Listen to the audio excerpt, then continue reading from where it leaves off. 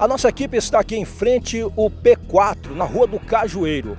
O poço que abastece o bairro Cajueiro, União e parte do bairro Areal.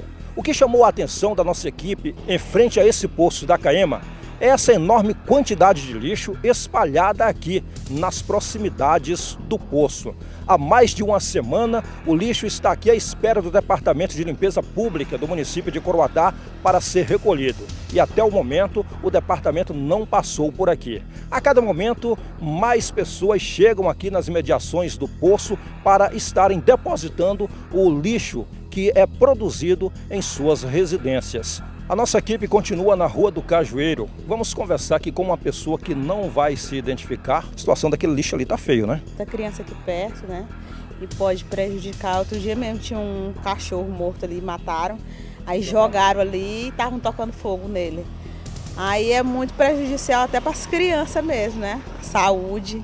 E ali ninguém toma providência, nem prefeito, nem governo, nem ninguém toma providência. Aí continua assim.